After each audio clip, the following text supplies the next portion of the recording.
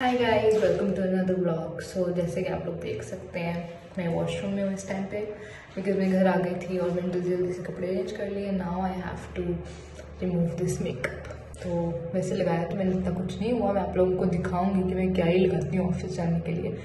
लेकिन अभी जो स्किन है ऑब्वियसली पूरा दिन ऑफ़िस गुजारा है एंड एवरीथिंग और सब कुछ ख़राब हो गया है।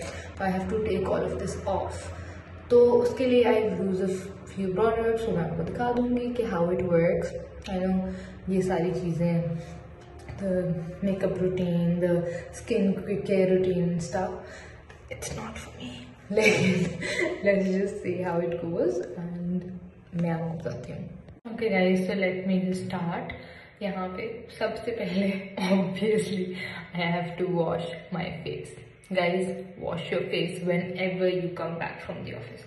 मुँह धोए। ओके अब मुँह धोने लगी हूँ उसके लिए obviously I am going to tie my hair जिसमें बहुत ही ज़्यादा टाइम लग जाता होता है usually so let's skip to the part जहाँ पे मेरे बाल ऑलरेडी टाइड होंगे.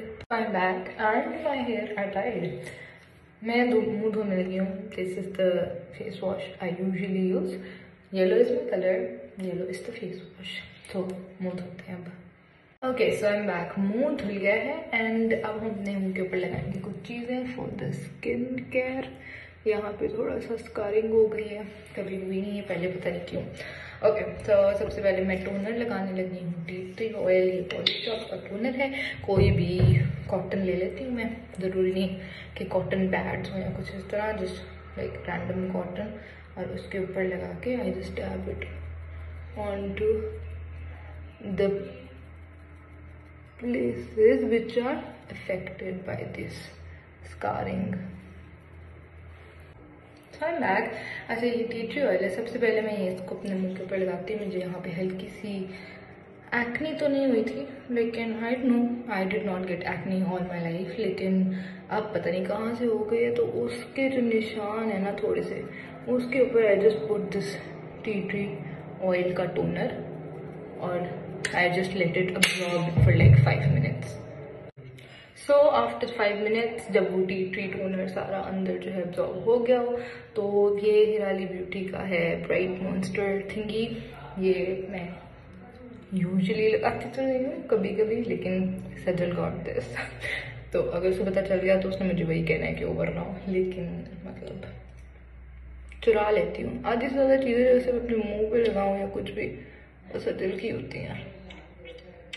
I am not very good with these things खैर तो ये फ़ौरन से हम लगा लेते हैं।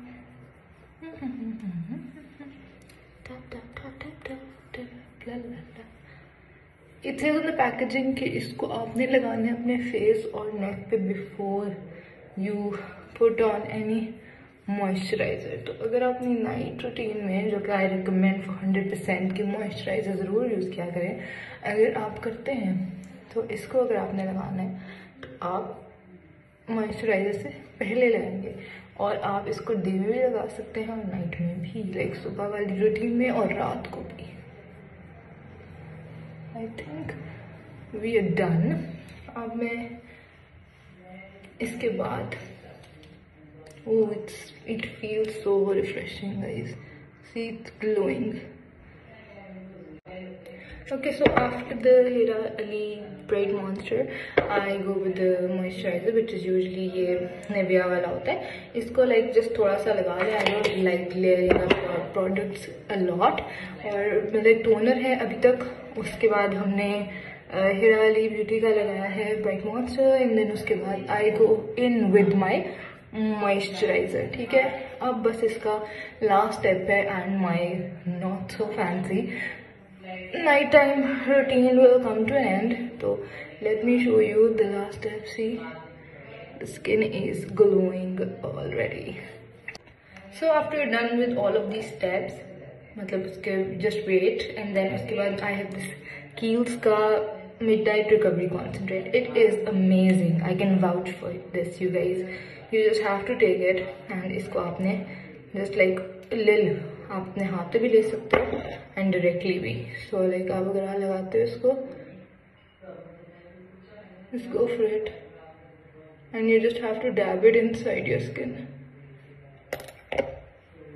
it feels so refreshing guys so refreshing i kid you not I think this is one of my best purchases throughout for the night time अब इस, इस what is this what this is gonna do ये आपकी skin को enrich कर देगा